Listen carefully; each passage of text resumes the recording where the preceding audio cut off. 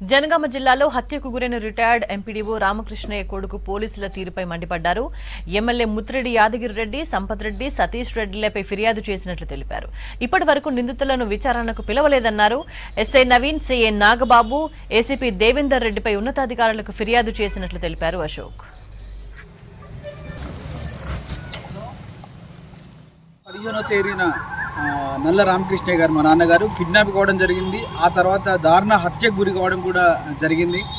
పోలీసులతో ఎప్పటికప్పుడు టచ్లో ఉన్నాను. సిపితో టచ్లో ఉన్నాను. సిపి గారితో అలాగే అలాగే స్పెషల్ బ్రాంచ్ వాళ్ళతో కూడా టచ్లో ఉన్నాను. సో మీకు అందరికీ తెలిసిందే టాస్క్ ఫోర్స్ వాళ్ళు ఎంటర్ అయిన తర్వాత కానీ కేసు పురోగతి కొంచెం తొందరగా జ- జరిగినట్లు కనిపించలేదు. వాళ్ళు వచ్చిన తర్వాతనే అటు ఇటు మూమెంట్ వచ్చింది. అయితే మాకు వస్తున్న సమాచారం మేరకు ఇంకా కొంచెం అడిషనల్ ఇన్ఫర్మేషన్ నిన్న మాకు రావడం జరిగింది. మేము సెకండ్ పిటిషన్లో ఇంకా కొంతమంది అనుమానితులను యాడ్ చేసి నిన్న బచ్చనపేట ఎస్హెచ్ఓ బచ్చన బచ్చనపేట సిఐ గారికి ఇవ్వడం జరిగింది. వచ్చిన ఇన్ఫర్మేషన్ ఏంటంటే ఈ కుట్రలో సిఐ నాగబాబు గారి హస్తం ఉన్నట్టు మాకు సమాచారం వచ్చింది. సిఐ నాగబాబు గారు ఎస్ఐ నవీన్ కుమార్ గారు అలాగే ఏసీపీ దేవేందర్ రెడ్డి గారి హస్తం కూడా ఉన్నట్టు మాకు సమాచారం వచ్చింది. వాళ్ళు మన CI Nagababu garu SI Naveen Kumar WhatsApp కాల్స్లో నిందితులు నిందితులతో పూర్తిగా టచ్లో ఉన్నట్టు మా దృష్టికి వచ్చింది. మా హత్యకు ముందు హత్య తర్వాత కూడా మేము సిపి సార్ని నేను ఇంతవరకు ఎప్పుడు శంకించలేదు. సిపి సార్ నిజాయితీ మీద మాకు నమ్మకం ఉన్నది.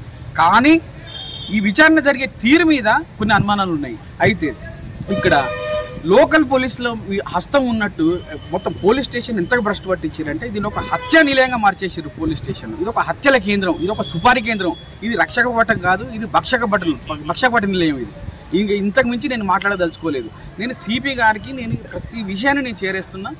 మాకు మా ఇంటి దగ్గర చాలామంది కొంతమంది వ్యక్తులు అనుమానాస్పదంగా సంచరించడం కనిపిస్తుంది. అదేవిధంగా వాహనాలు కూడా కొన్ని అనుమానాస్పద వాహనాలు కూడా తిరగడం మాకు కనిపిస్తుంది. దీని వెనుక నడిపిస్తుందంతా ముత్తిరెడ్డి యాదగిరి రెడ్డి ఎమ్మెల్యే ఆయననే దగ్గరుండి డ్రైవ్ చేస్తుంది ఇదంతా.